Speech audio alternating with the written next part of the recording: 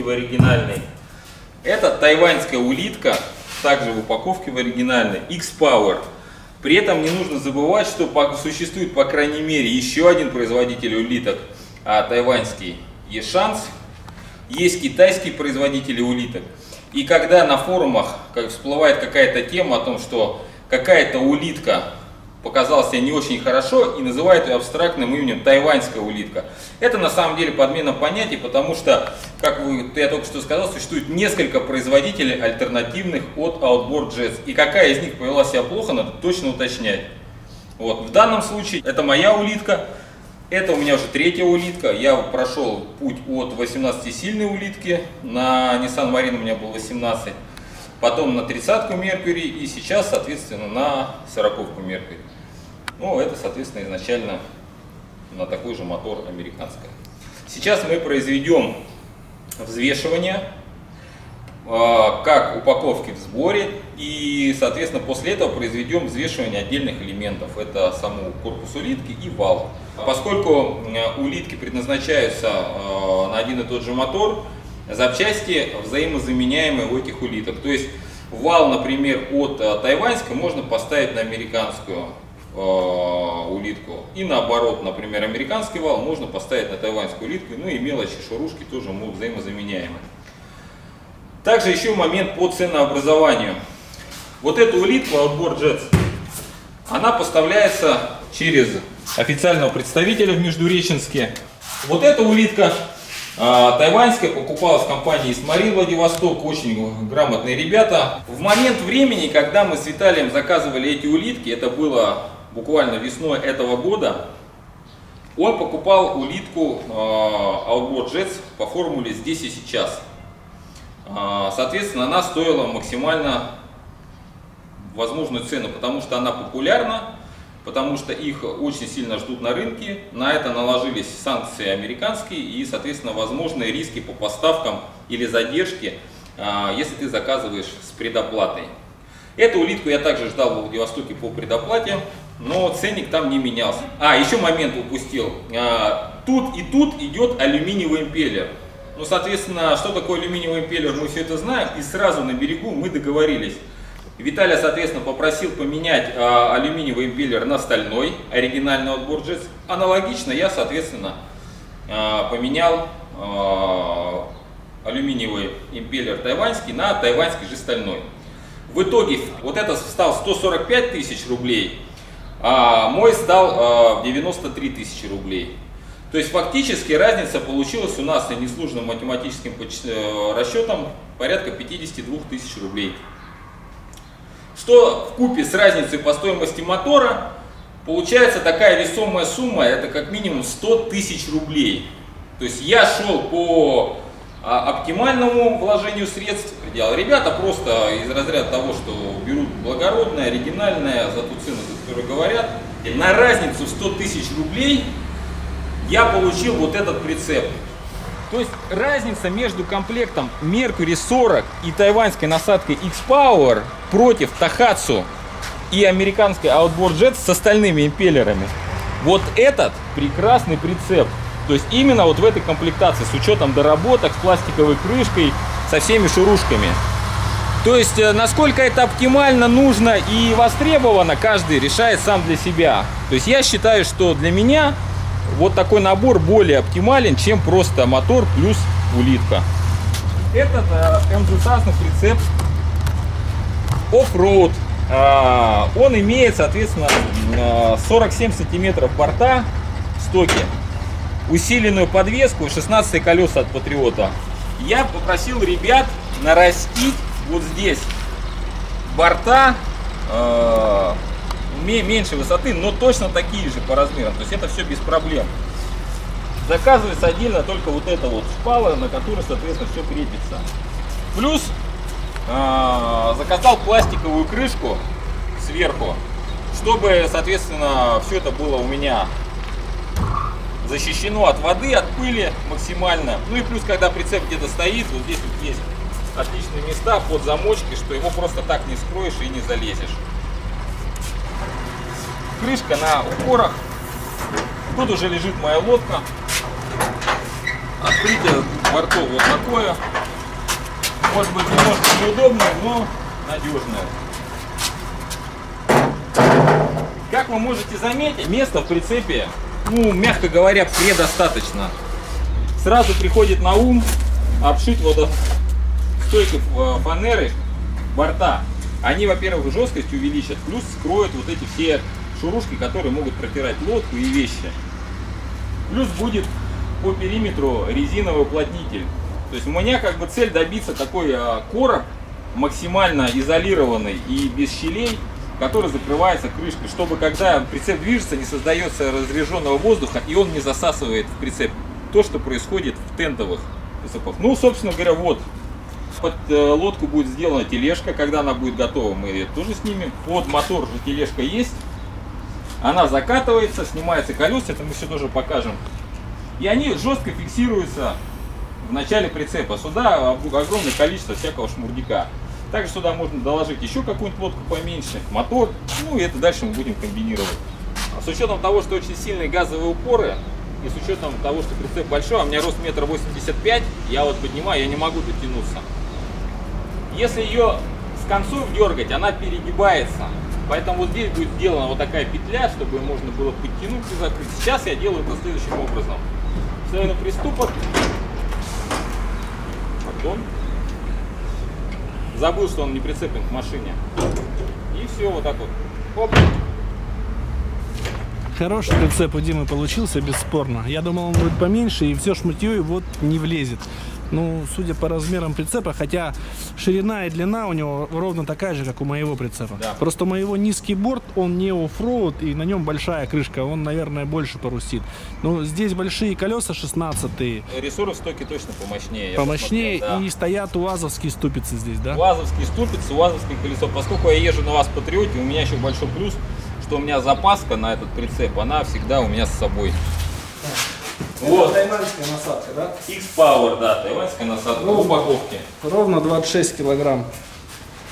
Это легче. 22. Когда мы прово- производили взвешивание, я вспомнил о том, что э, у меня в комплекте не один вал, а два. Откуда появилось два вала? С учетом того, что водометчики, они народ такой э, активный, ездят далеко, и бывают всякие аварии, все-таки это техника, возят с собой сальники, ремкомплекты, съемники, подшипники, втулки, короче, кучу рассыпухи. Когда я куп- покупал себе тайваньскую улитку в пику мотору, ну, мне было тоже сказано, да, это вообще туфта, надо брать оригинал, соответственно, у тебя он что-нибудь заклинит подшипник, и что ты там будешь делать. Конечно, мы тебя не бросим, ну вот будешь там печалиться. Я так подумал, подумал, закажу-ка я себе просто еще один вал в сборе к этой насадке. Со всеми пирогами абсолютно новый. Он у меня будет лежать в зипе. Если у меня где-то что-то случится, колхозить там что-то на коленочках я не буду. Я просто поменяю вал. Хотя, повторюсь, за все время использования именно тайваньских насадок X-Power никаких проблем с ними не было. Повторяюсь, не путайте производителей или уточняйте их всегда, потому что их несколько и они разные. Давай слушай, сколько вал весит. Ну, Два с половиной килограмма. Да, вот. Чем отличается тайваньская улитка? А, визуально она отличается, а, вы это дальше увидите, покраской. То есть оригинально она такая шагренева, пупырышчатая, а это гладкое покрытие. Также можно внимательно посмотреть внутреннее качество улитки, если будет заметно. Ну, то есть вот внутренняя поверхность улитки, она вот такая. Хороша, хорошая она или плохая, мне сложно сказать. Наверное, опытные отцы-водометчики скажут за меня, но каждый может выводы сделать сам по внутреннему покрытию и качеству обработки металла. Давай ее замешаем. Так, тайваньская улитка. Просто улитка без всего. 8400. 8400, да. Вал в приборе.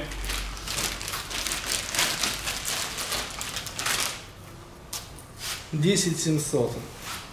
Это отполированный стальной тайваньский импеллер. То есть, отходив два сезона на тайваньском обычном стальном импеллере, никаких проблем он не доставил. Кромки тоненькие, аккуратные. То есть качество изготовления нормально, плюс видно элементы балансировки. Я думаю, что также этот импеллер проблем не доставит при эксплуатации. Сейчас мы его... Сколько стоил сам вот импеллер стальной, который... Боюсь ошибиться, а около там 18-19 тысяч он стоит. Но он порядка в два раза дешевле, чем оригинальный стальной Outboard Jets. Ну, я, получается, 10 тысяч доплатил. Алюминиевый А отдал, у тебя алюминиевый зачет, дороже зачет, стоит, да. конечно. А за остальное доплатил. Я, 10 по-моему, рублей 5 или 6 доплатил. Ну, все вешаем. Это ключевой момент. 10 700, 13, 2 300. Дальше, собственно говоря, особо ничего неинтересного нет. Есть базовый интейк тайваньский с тайваньской же обечайкой. Использовать мы будем резиновый интейк от Jetwolf первой генерации. Он очень хорошо показал себя в прошлом году у Сереги. Еще момент тут такой, вот сейчас а, за кадром с Виталием обсуждали. На малой серии оригинально аутбордовская интейк, он имеет обечайку без фланцевого, не фланцевого, она вставляется туда. А у тайваньцев на малой серии есть фланцевые, вот такие вот, как на средних сериях. То есть это тоже такое отличие существует. У тебя действительно не было вот, этой, вот, этих креплений, он тебя просто вставлялся туда. А на, у Тайваня на малых сериях есть вот, вот с этим ободком, который фиксируется под шпильками. Да, ну это речь про 25-ку, да? Да, да, да. Так, 12 было, 16 800. Платформа для помпы и прочее, но их тоже можно завешать. Да, конечно. платформа, которая крепится, она крепится к Дейдвуду, а к ней крепится улитка. Но у нас очень инновационные быстросъемы, отдельно мы их покажем. Это использоваться у нас не будет. Но тем не менее, раз она есть в комплекте, мы ее замерим. Подожди, итоговый вес получился 18 килограмм 600 грамм. Все, что было в комплекте.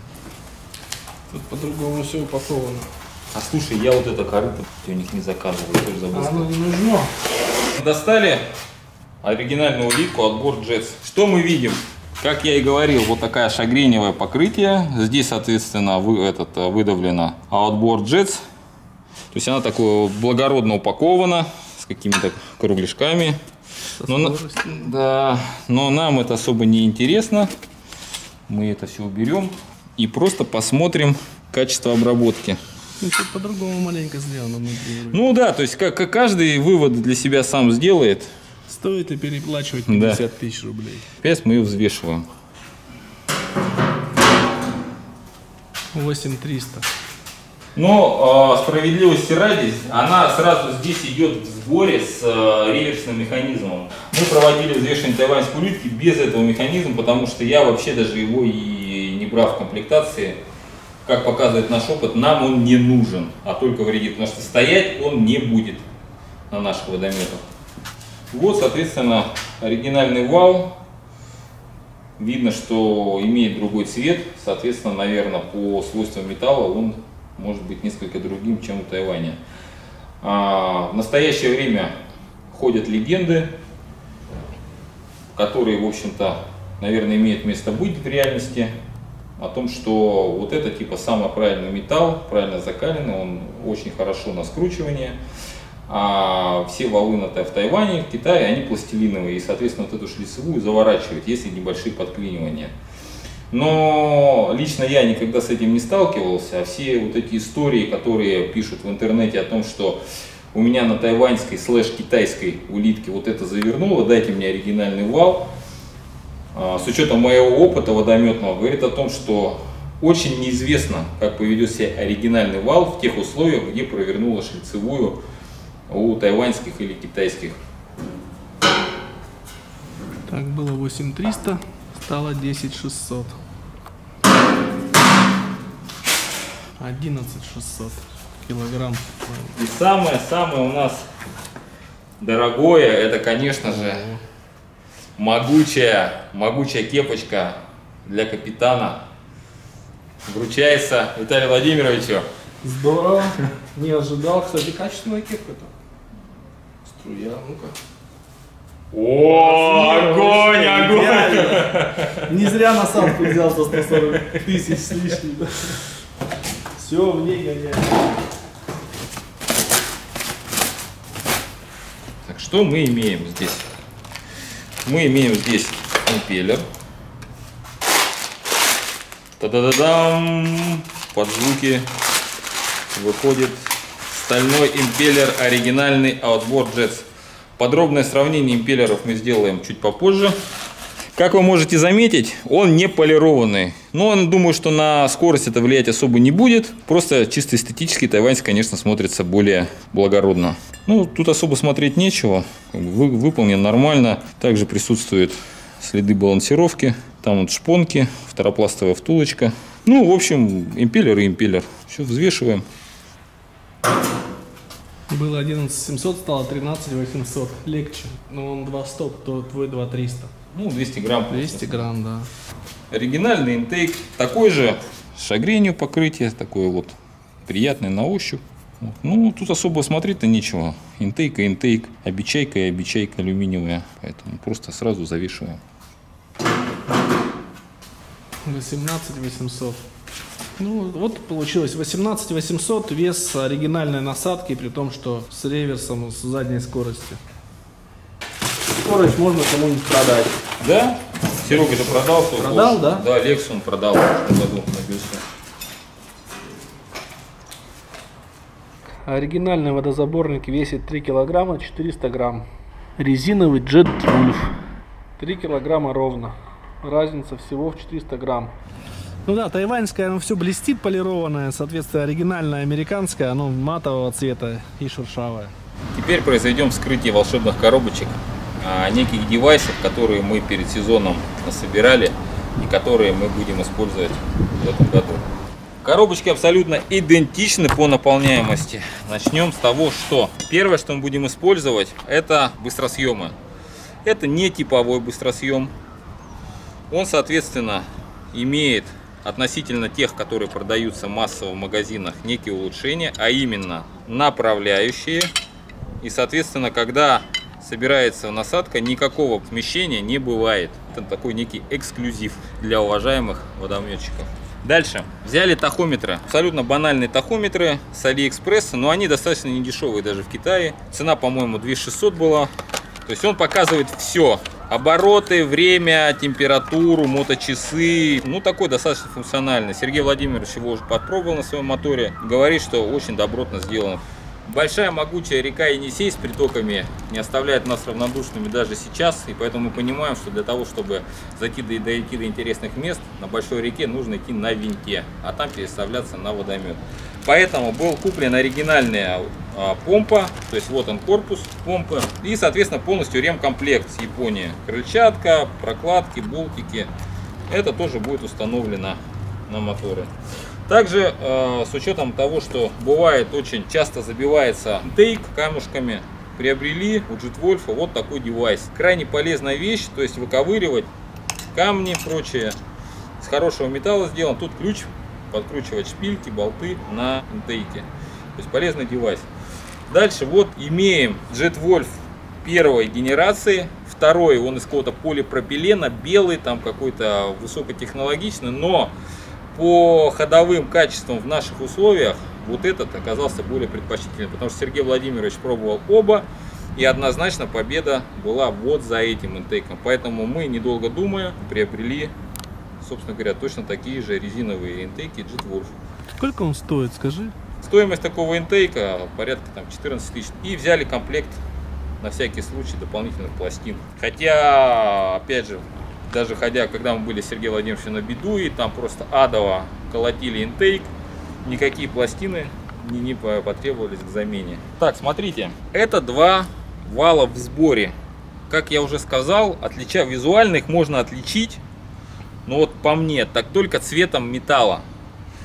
А с точки зрения технологических отверстий, всяких пропилов, э, зазоров, размеров, это абсолютно идентично выглядящий. Единственное, что э, еще сальники на оригинале, они несколько другие. Это сальники на вот в этом узле в подшипниковом. Это была такая достаточно холиварная тема на профильных форумах. И э, очень много копий сломали. Считается, что сальники, которые стоят в аутбордовской улитке, они там самые правильные. Но они также деланы в Тайване. У них маркировка тайваньская. Единственное, что стоят они, наверное, подороже для аутборда. Ну и качество, соответственно, наверное, повыше. Но это все субъективные вещи, повторюсь. Тут немножко сальник другого типа. Просто смотрите, обратите внимание, он такой сальник уже как на машинах. Вот тут можно заметить маленькую пружинку. То есть он как бы обтягивает. То есть по логике вещей, этот сальник действительно он а, поинтереснее выглядит, чем на Тайване. Но сколько каждый из них проходит, покажет только наше путешествие. Вот два импеллера. Вот этот вот тайваньский полированный стальной, этот оригинальный стальной Outboard Jets. Качество исполнения и там, и там хорошее. Грани все гладенькие, тоненькие. Единственное, что мы нашли, это разницу в весе на 200 грамм. Да. Американский весит поменьше на 200 грамм, чем тайваньский. Так, теперь вот мы держим гладкий. Это у нас тайваньский, такой матовый, это оригинал.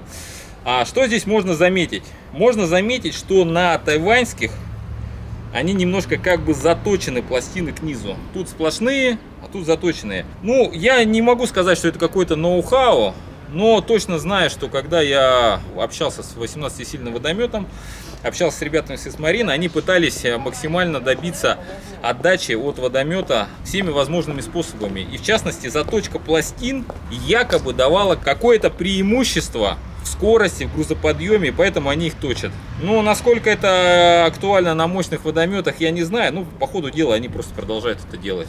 Обечайки на вид одинаковые, да? Да, да, да, они вообще одинаковые. Даже вот по тактильным ощущениям, ну что, алюминий, алюминий. Еще интересный момент, который был мой обнаружен на просторах интернета. А, на Дальневосточном форуме а, было обсуждение американской против тайваньской улитки, насколько вообще оправданно покупать за большую стоимость американскую улитку относительно тайваньской. Тоже было сломано много копий, но при этом кто-то а, взял и отдал на экспертизу материал, из которого сделана вот эта улитка тайваньская и вот эта американская. А, не знаю, насколько корректно проводились вычисления, ну, как говорится, за что купил, зато продаю. Факт это зафиксирован в интернете. Было сказано, что по свойствам этот материал идентичен. Единственное, что вот в тайваньской чуть больше титана. Хорошо это или плохо, я не знаю, но с точки зрения обывателя, титан это хороший, прочный, дорогой металл. Если его больше, значит и улитка лучше. Вот, это была шутка. Ты скажи еще, что тайваньская улитка лучше, Виталий Серега их дураки, блин, я сделал правильный выбор. Ну, в общем, э, соответственно, мы соберем это все, всю технику, поставим на моторы, э, поскольку мы ходим вместе, они будут в идентичных условиях эксплуатироваться, мы будем все это внимательно отслеживать, документировать. И это будет вполне такой объективно-сравнительный тест двух улиток, не предвзятый. Для нас это хобби, а очень много публики в интернете занимается бизнесом и зарабатывает на этом. И при этом какие-то их позиции и продвижение каких-то одних решений относительно других, они продиктованы не потребительскими качествами лучше, хуже, а как бы где больше денег. Поэтому, когда вы читаете на форумах и какие-то обсуждения, общаетесь с людьми, никому не верьте. Потому что очень много лояльных групп сформировано а, производителями, поставщиками, которые просто создают правильный фон информационный а, в интернете и формируют определенные запросы у обывателей, таких как мы с вами. Вот, поэтому все ставьте под сомнение. Сейчас приступая к а, планированию сборки всего вот этого хозяйства на моторы, обратили внимание на такую штуку. Вот это вот оригинальная пластина вот эта тайваньская. Если вы просто их визуально посмотрите, вот визуально посмотрите, качество обработки тайваньской значительно выше, чем оригинал. Оригинал более грубый и видны следы вот этой обработки. Ну, прям видно, что когда станком проходили, чувствуется. А тут все гладенько, заполировано так. Не знаю, хорошо или плохо, но визуально и тактильно вот эта штука тайваньская гораздо приятнее, чем вот это. Хотя, я думаю, по потребительским свойствам они абсолютно идентичны. Ну и тем более, повторюсь, что на наших моторах они использоваться не будут. А вместо вот этой а, пластины мы будем использовать быстросъемы. Они, ну что такое быстросъем? Это, то есть, ну вот видите, то есть он сам по себе пошире, просто потому что в нем а, технологические отверстия больше. Вот. Ну а по посадочным местам это идентично. При этом, если вы можете заметить, он расширяется. Работает быстросъем следующим образом. одна пластина крепится к Дейдвуду, а ко второй пластине крепится вся в сборе улитка. И, соответственно, когда нужно поменять редуктор, откручивается улитка, то есть она э, болты раскручивается, которые фиксируют быстросъем. Он вот так вот рассоединяется, видно, не буду. Снимается улитка вместе с одной половиной, которая прикручена. Вторая остается на Дейдвуде. Она на четырех болтах крепится, быстро откручивается, снимается и ставится редуктор. Ну и, соответственно, наоборот. То есть это очень сильно упрощает а, перекидывание насадки и водомета. Если бы использовалось вот это вот, Винта переходящее... водомета. Что? Винта и водомет. Винта и водомет, редуктора и водомета. Если бы использовалась вот эта пластина, то приходилось бы снимать интейк, снимать импеллер, выкручивать, соответственно, вал, потом снимать улитку, то есть там геморроя было бы значительно больше, и, соответственно, в тяжелых условиях, ну, такие технологичные решения перебирать, наверное, не самая правильная штука. Поэтому быстросъем это наш выбор. Хорошо, что знающие люди подсказали, посоветовали. Те, кто меняет винт на улитку, нам-то раньше это было неведомо, потому что нету, в принципе, на Алтае рек, где можно идти на винте, потом перекинуться на водомет, еще на водомете шпарить километров 100. А в Хакасии, в Тыве такие реки есть, и поэтому люди приноровились.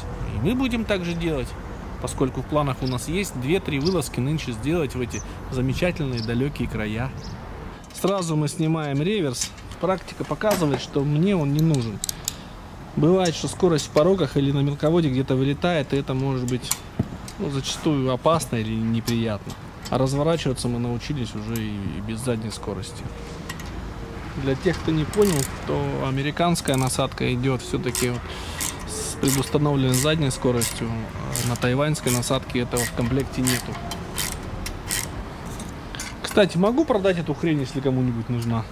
Всегда говорилось на форумах везде о том, что культура производства оригинальной Outboard Jet насадки самая лучшая, технологии а, выдерживаются полностью. И китайские, это я точно знаю, пеняли вину то, что у нее сопла и толщина металла неравномерная. Теперь, если мы посмотрим внимательно на оригинальную аутбордовскую, то мы можем заметить, что, в общем-то, тоже есть еще над чем работать э, мастерам в Америке э, в части идеального круга. Есть, есть огрехи, и они видны вот здесь. То есть литье не идеальное. А если мы посмотрим на тайваньское, что мы тут видим? Мы видим то, что, ну, тут потолще кромка, но они идеальные по толщине везде, по периметру. То есть она как бы идеальный круг. А здесь все-таки нет. Возможно, это какие-нибудь особые хитрые моменты, известны только Outboard Jets, и это их ноу-хау, которое позволяет там каких-то показателей добиться. Всегда, когда я собираю насадку, а, все болты я смазываю водостойкой вот этой вот 2.4C а, смазки. Потом какие-нибудь комментаторы под этим видео будут говорить, какие-то дебилы столько масла мажут, нахрен это все нужно. Я сто раз так делал, это ничего не надо. Тратят дорогой маргарин. А я ломал голову, думаю, то ли отдать официалам, пусть они соберут все сами там. Потом Дима вызвался мне помочь, говорит, ну и заодно мою соберем. Я говорю, ну, это вообще идеальный вариант для меня. А то люди потом спрашивают, а я не знаю, что да как. Ну, кто-то любит копаться, вот мне ну даром не надо. Вот в этой водометной улитке два импеллера. Вот этот стальной и импеллер, который в помпе резиновый. А, вот, вот этот импеллер, да, и вот это... постоянно примерзает, говорят. Ну, в мороз. Да, да, да. Вот. Как говорится, век живи, век учись. Помпа готова. Да. А собственно нам остается теперь а, поставить э, импеллер поставить э, интейк, все это прикрутить, и она вот она, она в таком виде в сборе идет. Ну вот, примерно вот так вот.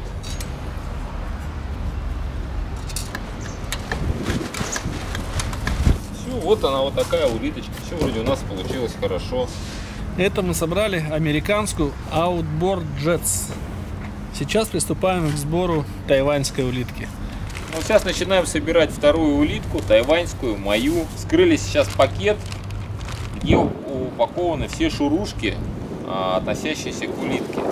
С точки зрения культуры упаковки товара, назовем это так, Тайваньская улитка, конечно, выглядит значительно лучше, чем оригинальный отбор Jets. Отбор Jets просто навалены в один пакет болты, граверы, все вместе, и потом ты там просто разбираешь. Когда ты а, работаешь с тайваньской улиткой, у тебя, соответственно, каждый элемент, он в отдельной упаковочке, запечатаны, заплавлены, все болтики не вместе, а под определенным номером. И когда ты пользуешься инструкцией, тебе очень легко смотреть и выбирать тот элемент, который тебе надо сейчас ставить.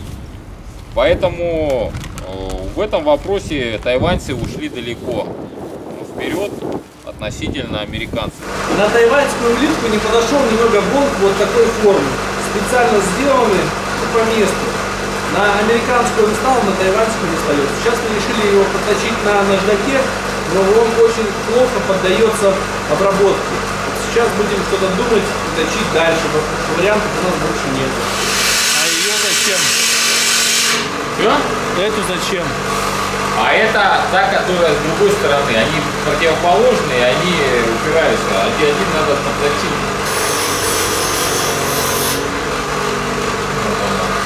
В порядке.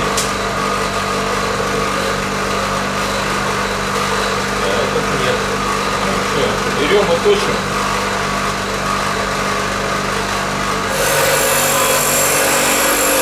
Реально искр нету вообще.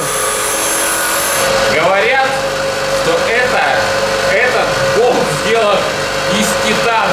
Оснований не верить у нас нету. Я и токарь, я и слесарь, я и сварщик, и доцент. Наша манипуляция с болтом помогла. Все встало на свои места. И теперь мы уже с опытом сбора американской улитки собираем улитку тайваньскую. Завершаем процесс сбора тайваньской водометной улитки.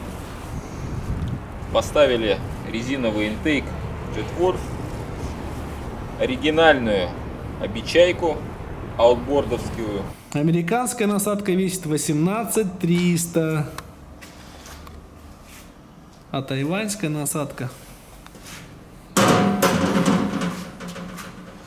19 300 на килограмм тяжелее. Типа получается у меня водоводная труба больше. Я думаю, что просто там металла сверху наплавили больше. Но вот мы сейчас говорим вот, вот об этом месте. Вот на оригинальное расстояние, ну, полтора сантиметра, и здесь, ну, где-то два это минимум. Пытаемся понять, в чем секрет. То есть то ли из-за того, что геометрия улитки разная, то ли из-за того, что просто вот эта вот площадка по-другому отлита. Самое главное, что обе улитки готовы к эксплуатации. Завтра мы их повесим на наши новые моторы, обкатаем, посмотрим, как это будет выглядеть все на деле. И уже потом, со временем, можно будет сделать какие-то выводы о ходовых характеристиках той или иной улитки. Потому что сейчас все, что можно было измерить, мы по сути измерили здесь. Ну, собственно, сам монтаж показал, что все взаимозаменяемо подходит, все это точно Да. пуля в пулю, поэтому если есть какие-то незначительные изменения в геометрии улитки, ну, так вот на глаз ее однозначно идентифицировать, ну, не представляется возможности в данной ситуации.